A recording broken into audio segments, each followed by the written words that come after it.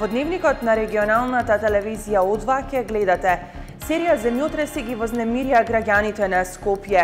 Во 15 часот и 10 минути нов земјотрес почувствуван и во Охрид.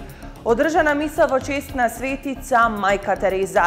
Обштинската организација на Црвениот крст од Охрид го одбележа светскиот ден за прва помош со показни вежби на спасување и укажување на прва помош на градскиот площад во Охрид. Годинава Светскиот ден на прва помош се одбележува под мотото Првата помош за и од децата.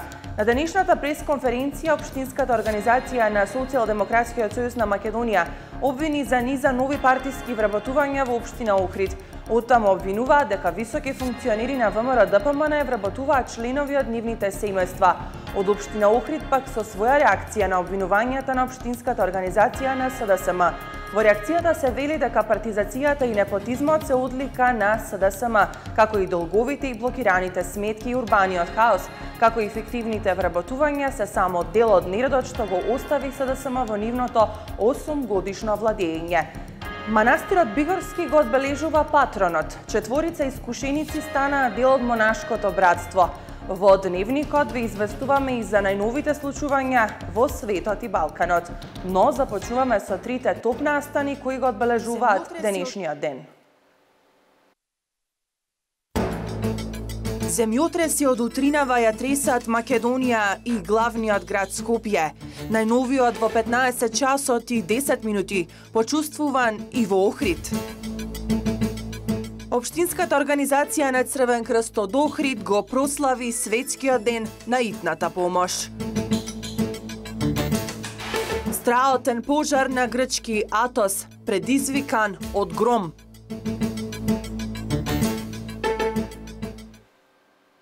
Не го менувајте каналот. Дневникот започнува во 16 часот и 30 минути.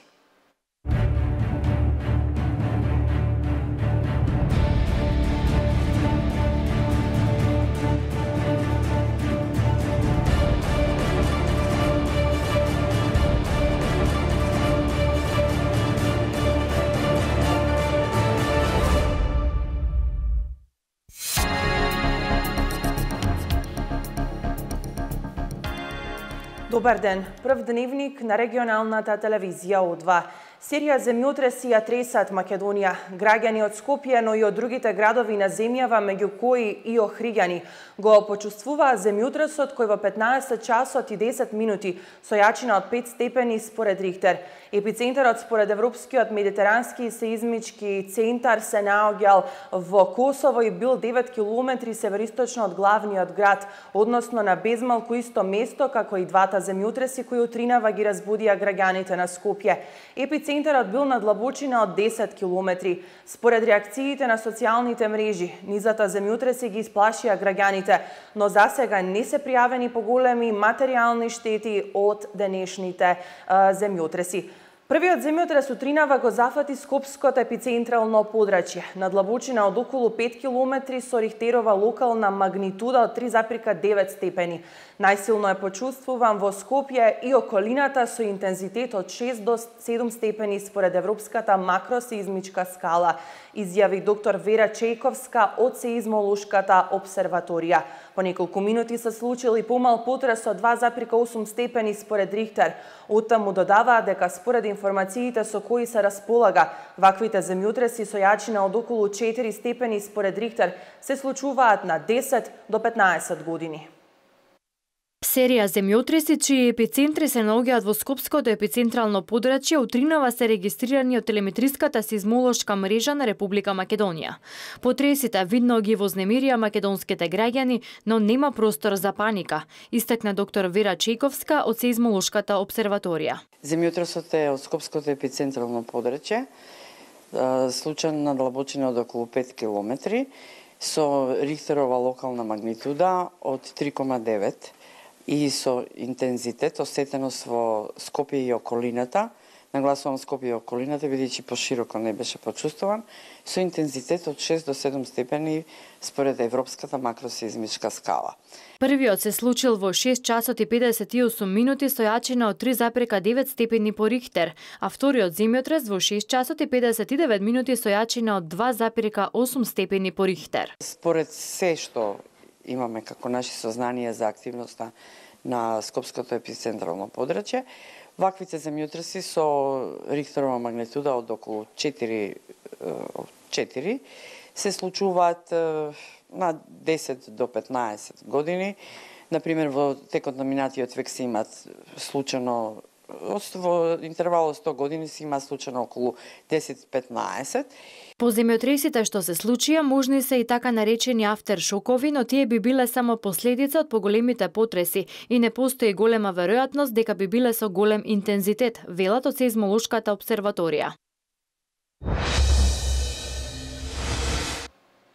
Македонија треба да биде горда дека нејзино дете го заобиколило светот за да пружи хуманитарна помош, порача од Римо-католичката црква за време на мисата која што се одржа на плоштадот Македонија денеска, во чест на мајка Тереза која на четврти месецов беше прогласена за светица.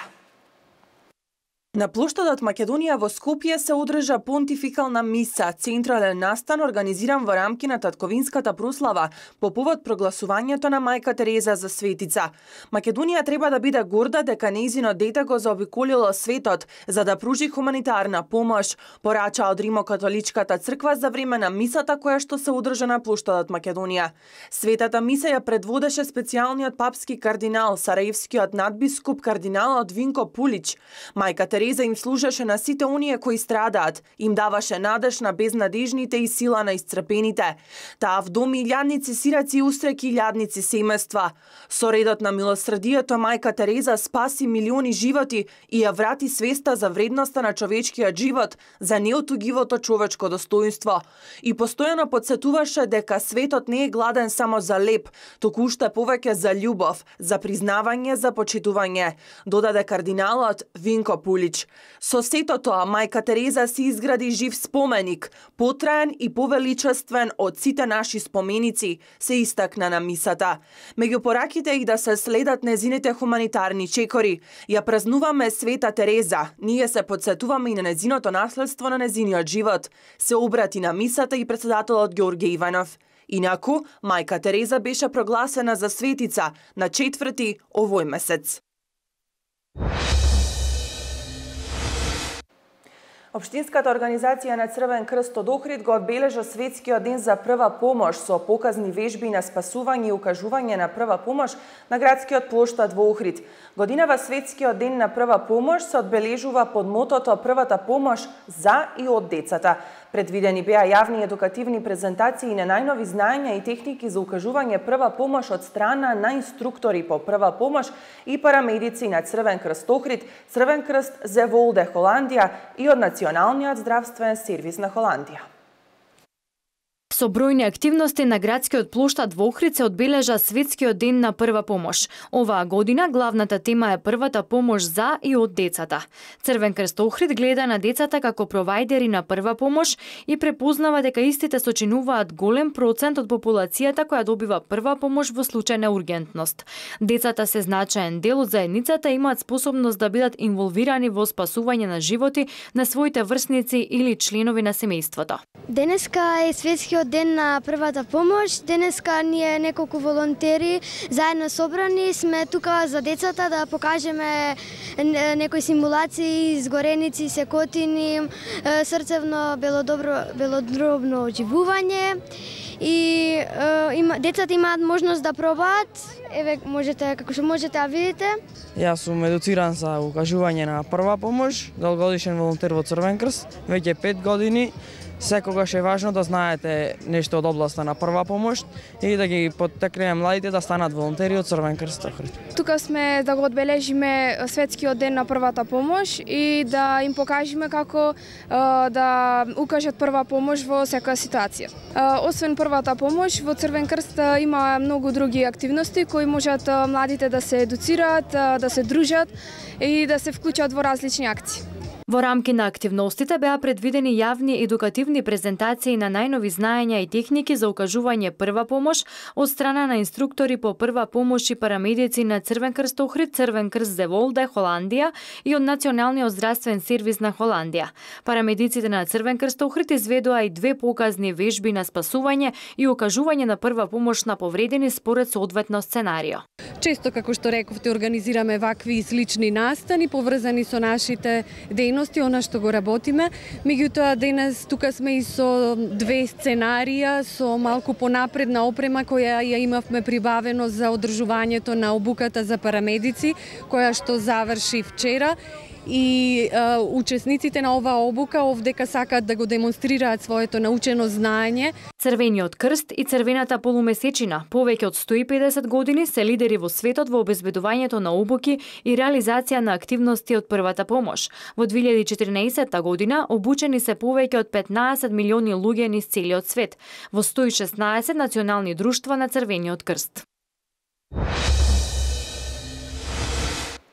Продолжуваме со локални случувања. На денешна пресконференција Обштинската организација на Социјалдемократскиот сојуз на Македонија обвини за низа нови партиски вработувања во Обштина Охрид.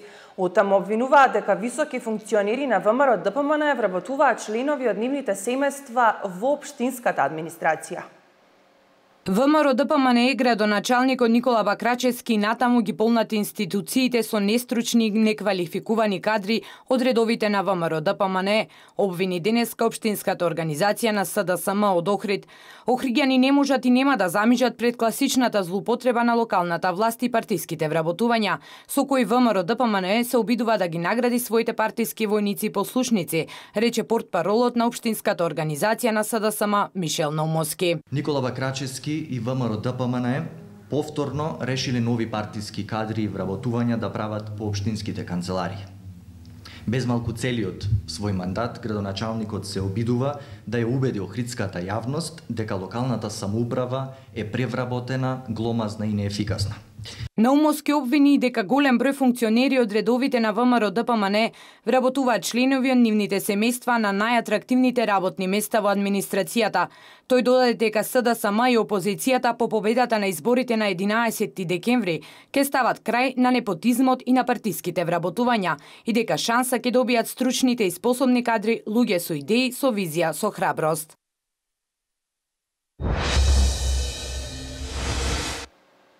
На обвинувањето од СДСМ со своја реакција излегоа од Обштина Охрид. Во реакцијата се вели дека партизацијата и непотизмот се одлика токму на СДСМ.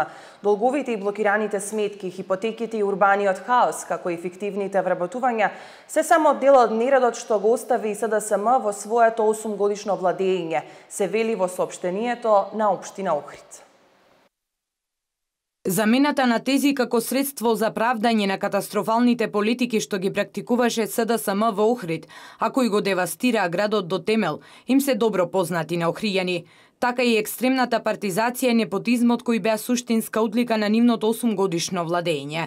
А за стручноста на кадрите кои тие ги ангажираа доволно говори состојбата на градот во 2013 година. 50 милиони евра долг, блокирани сметки на сите локални институции, загрозени општински имоти поради хипотеки, бројни неисплатени надоместоци на вработени, 600 судски спорови против општината, урбан хаос. Охрид е мало место, Охријани ова многу добро го знаат и со ние на замена на тези не може да биде маскирано.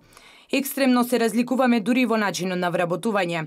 Тие правеа фиктивни вработувања и за повеќе од половина не исплатија ни денар. Ние работно ангажираме и вработуваме согласно строгите законски одредби. Плаќаме до денар за секоја минута работен ангажман, а освен тоа ги плаќаме на доместоците за вработувањата кои тие ги направија, за манипулативните цели без да им го надокнадат тоа што Охријани со труд и пот го одработиле, се вели во реакцијата на Обштина Охрид.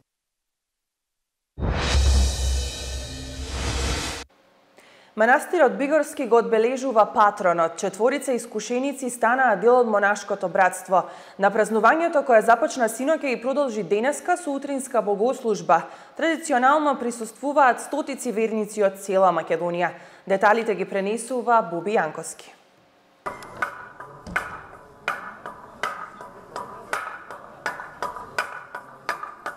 Македонското древно светилиште, Бигорскиот манастир го одбележува патронот, празникот од секувањето на главата на Свети Јован Крстител. Празнувањата започнаа синока кога воедно се прослави и 21 годишнината од возобновувањето на монашкото братство на овој манастир. На вчерашната богослужба во присуство на голем број верници од цела Македонија, четворица членови на Бигорското братство беа пострижени во монашкиот ред. Првпат во поновата историја на македонското монаштво одеднаш беа замонашени четири лица. Посебно нели за првиот Титор Јован кој пред 1000 години го основал овој манастир. Значи за 4 години Бигорското светилиште слави илјада годишнина, 10 век од неговото постоење и самиот тој факт а, а, за, за Бигорски, неговото илјада годишно сведочење за вистината Христова, а, доведува до тоа Бигорското светилиште да е денес едно од најпочитуваните и најпосетуваните а, во нашата татковина. Особено е значајно тоа што сите од овие краишта, од краиштата на западната западниот дел на Република Македонија, го почитуваат и го сакаат ова светилиште како свое. Може би тоа е и поради фактот што овој манастир бил изграден во времето кога сите луѓе од овие краишта биле православни христијани, но без разлика на тоа што сега повеќето тука се со мислиманска вероисповест и тие го почитуваат ова светилиште, па доаѓаат прават чест на големиот, на најголемиот меѓу родените од жена, Свети Јован Крстител, како што за него се изразил Господ Исус Христос. Бигорски е нашето духовно срце во сегашното монаштво во Македонија, кое чука здраво и богомило. Овде има најмногу монаси, најмногу свети мушни, најмногу бденија и најмногу богослуженија. Бигорски има многу важно духовно просветување, особено за верниците од Западна Македонија. Бигорскиот манастир е навистина многу важно, значајно духовно светилиште за Македонија, а посебно за западниот дел на Македонија. А, самиот манастир од неговото основање, значи од почетоците па до ден денес, изобилува со мноштво историски податоци. Се е поврзано околу него, се се движи околу него, па и денес, кога а, и обичен човек ќе стапне во а, неговото предворје, ќе се а, судри со една мистичност, со една а, тајновитост која што го плени и која што а, ќе го предизвикува уште повеќе да навлезе длабоко во портите кои што кријат во себе големи богатства. Тука доаѓаат постојано секојдневно разни туристи од секаде тој манастир, манастирот не познава вери. Тука доаѓаат од сите националности, од сите вери, сите се добредојдени, сите се сослушани и на сите им е раскажано се што сакаат да слушна за него. А, историски, од историски аспект има многу да се зборува. Значи, секој камче, секој прозорец, се што содржи манастирот има своја богата историја, своја приказна, која што монасите со голема љубов и со, голема со големо трпение им го раскажуваат на посетителите. Инаку празникот на отсекувањето на главата на Свети Јован Крстител за Бигорски од секогаш бил еден од најглавните годишни случувања во манастирот, особено во последните години кога манастирот е целосно возобновен и збогатен со прекрасна манастирска архитектура – Илјадници верници доаѓаат да се помолат заедно со монашкото братство на Свети Јован Крстител, присуствувајќи на убави богослужби. Славното Бигорско светилиште, кое низ векови било гордост на нашите предци и столб на нивната православна вера и самобитност, особено за жителите на краиштата од Западна Македонија, и денес иста ревност продолжува да сведочи за евангелиската вистина и да јакне верата на народот. А во Битола синоќа во преполнетата сала на Центарот за култура свечено беше отворено 37-то издание на фестивалот на филмска камера Браќа Манаки. Свеченото отворање помина во знакот на доделувањето на наградата за животно дело Златна камера 300 на австралискиот кинематограф Оскаровецот Џон Сил и премиерата на филмот Ослободувањето на Скопје. Проекцијата на филмот ги воодушеви присутните во салата, кои неколку минути и аплаудираа на екипата која играше во филмот. Синоќа со многу гламур и грандиозност започна 37-то издание на Интернационалниот фестивал на филмска камера Браќа Манаки во Битола. Фестивалот годинава се одржува под мотото Почувствуваја светлината, почувствуваја Битола и како и секоја година е под покровителство на преседателот на Република Македонија. Во своето обраќање преседателот Иванов подсети дека Република Македонија годинава одбележува 25 години независност, време во кое посебно во филмска филмската уметност се постигнати големи успеси. Пред четврт век Република Македонија прогласи независност. Со тоа како држава станавме актер на светската сцена. Од самиот почеток на приказната за македонската независност се пријавивме на многу аудиции во многу меѓународни организации. Во едни бевме примени, а во други одбиени. Некаде бевме ставени на листа за чекање, некаде ни го грешеа дури името, се соочивме со речиси сите предизвици со кои може да се соочи една држава. Со победи и падови, со успеси и порази, кој да го прочита сценариото за Македонија ќе види дека воопшто не ни беше здодевно во овие 25 години. Годинешната звезда на фестивалот во Битола, австралискиот кинематографер Сил, не го криеше задоволството од одлуката на фестивалот како и гостопримството во Македонија. Thank you very, very much. What a great honor indeed it is to have the President of the Republic of Macedonia present me with this wonderful award. И благодарам на вистина каква чест е председателот на Републиката да ми ја додели оваа важна награда. Би сакал да се заблагодарам на господин Куновски, исто така и на фестивалскиот одбор кој што ни приреди на, на вистина топол точек и топло добре дојде од кога слетавме па до сега. Гледам дека има многу истакнати гости во публиката и да се заблагодарам и на нив и на амбасадорите и на спонзорите. А, морам да ви кажам а, дека кога доаѓавме наваму нашиот возач а, Александар ни кажа дека Битола е најубав град на светот и на вистина сега веќе можам да го потврдам тоа и морам да кажам дека се надевам дека ќе видиме уште повеќе Битола. Филмската магија во Битола отпочна со премиерата на ослободување на Скопје во режија на Раде Шербеджија. Ово е еден од најлепших фестивала Možda baš zato što je festival za kamermane, za toliko jedan od najvažnijih filmskih ove, stvari. To su ti čarobnjaci koji drže tu divnu kameru koja nas slika i koja pravi božanstvene filmove. I zato je taj festival specijalan. Ja sam uvijek uzbuđen kad dođem na Manakijeve susrete i festivale. Jako sam, puno sam bio ovdje i često sam dolazio na taj festival i onda kad nisam imao filmove. A, ovaj, zato što je tako poseban. I to posebno čestitam Makedoniji na, takvo, na takvom jednom sjajnom festivalu koji su već mnogo godina tako uspjeli održati i unaprijediti i znade se za njega. На отворањето на фестивалот присуствуваа представници од дипломатскиот кор, јавниот живот, како и од филмската индустрија од државата и странство. Во продолжение на Дневников следува графички приказ на О2 Метео.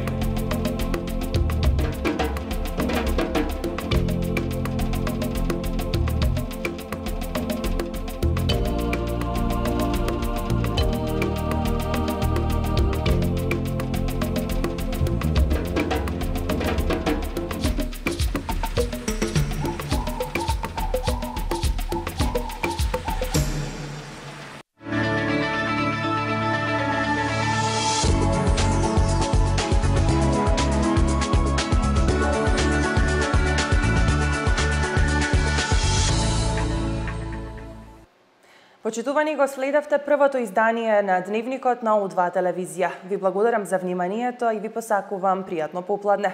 Довидување.